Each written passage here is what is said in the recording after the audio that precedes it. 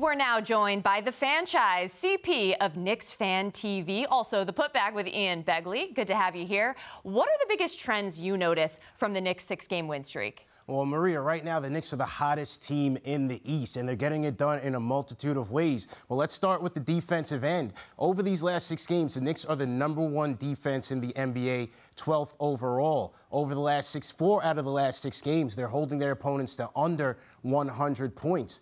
Defensive rebounds are also part of your defense, and they are getting it done on the boards. Give credit to Mitchell Robinson and Julius Randle as well. And they've been an opportunistic defense. Last night against the Bulls, the Knicks had 13 steals, forced 20 turnovers, which led to 24 points. Now, on the offensive end, the big three is getting it done. Last week, it was Julius Randle who was carrying the load. This week, it was Julius Randle. Jalen Brunson had an outstanding two games in Chicago.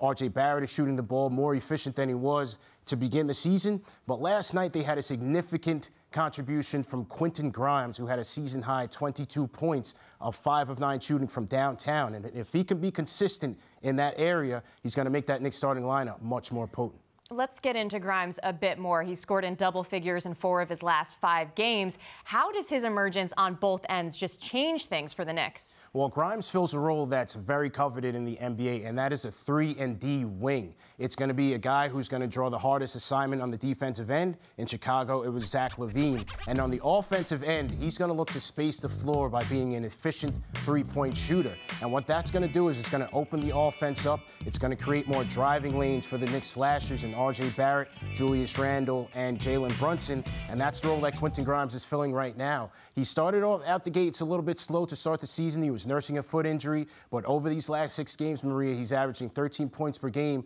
on 50% shooting and 45% shooting from three. It's been really impressive. As for Jalen Brunson, he could have missed time with a foot injury. Instead, he had those 52 points over the two games in Chicago. How would you describe his impact in December?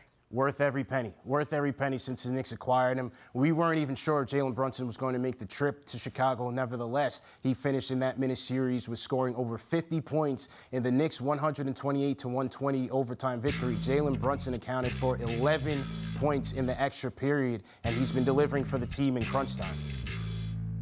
All right. Well, the Knicks will look to improve to 10 and 6 on the road Sunday against the Pacers. CP, thanks so much for stopping by. Thanks again.